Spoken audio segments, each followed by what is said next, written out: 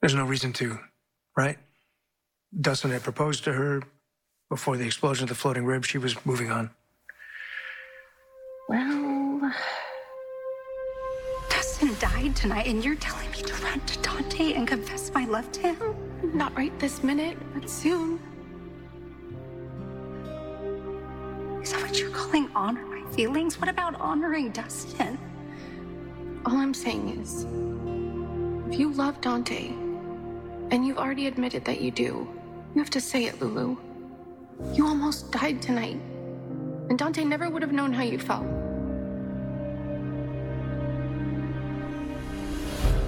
Maxie, hey, what happened? Sorry, I was uh, just thinking, you know, Lulu would want you to be happy. She would totally understand your relationship with Sam. I don't know what to tell her about the relationship or about. All I'm saying is don't don't hide your feelings because you think Lulu can't handle it. We've all made that mistake and it always ends up being a disaster. You're right. You're right. I, I have done that in the past with Lulu, and it was a mistake. I'm not going to do it this time around. I'm going to do better for Rocco's sake. And talk to her and hear her talk back.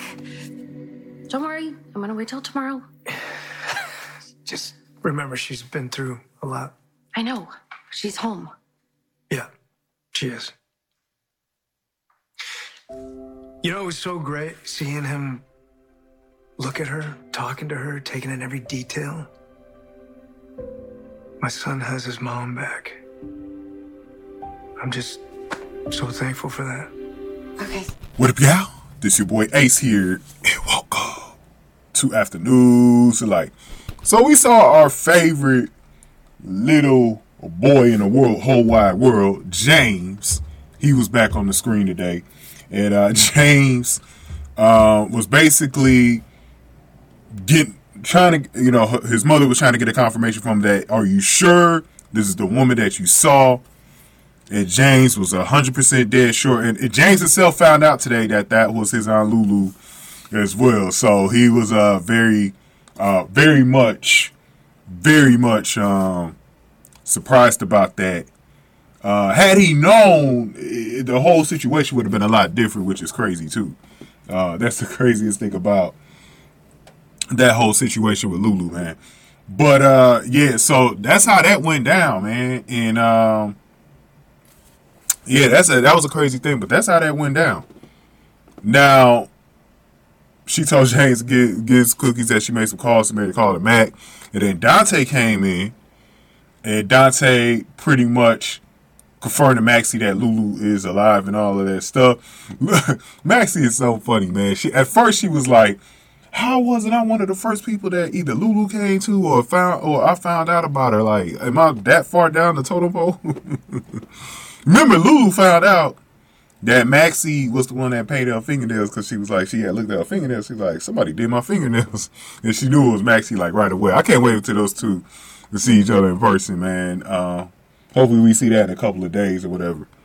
But, um, yeah, man. So the conversation moved along and it got more towards uh, uh, uh interest part of the conversation where Maxie told Dante to make sure that he's not hiding his grief when he's around Lulu because you know obviously he probably don't want Lulu feeling some type of way, but Lulu definitely understands. Like, look, Dante just lost Sam.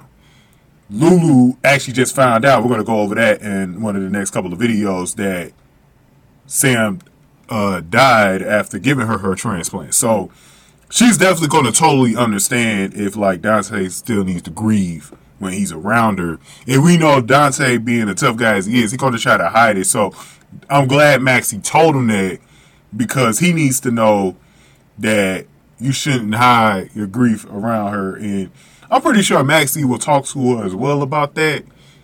Um, but but Lulu Lulu is not going to stop Dante from grieving though. But he's going to feel like he's got to be strong when he's around her. So, but uh, but I am glad that you know Maxie relayed that message to Dante since he is still grieving himself, man. So really good scenes between those two today. Really love seeing them, man. Um, I'm glad. I'm actually kind of glad Maxie got a chance to see Dante before she saw Lulu.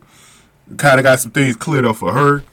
Some questions she don't really got to answer, ask her, and stuff like that. Now when she get when she sees her for the first time, so um, that that was a really good conversation. So I'm glad Dante uh, went over there, man, and uh, cleared everything up. So good conversation there, man. So give me your thoughts here, man. What y'all thought of this conversation? Give this video a like, share, subscribe, y'all. Thank y'all for watching this one. After news, the.